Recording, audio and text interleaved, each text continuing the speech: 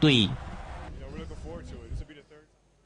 在奥运奖牌榜，中国继续领先第一，拿下三十六金，紧随在后的是三十四金的美国。至于排在第三位的，则是东道主英国，二十二枚金牌。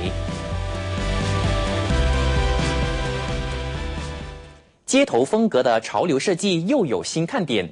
今年街头绘画艺术大胆进军布宜诺斯艾利斯时装周，究竟街头艺术结合服装设计会擦出什么样的火花？新闻的最后，一起去看看。我是刘振业，感谢收看，晚安。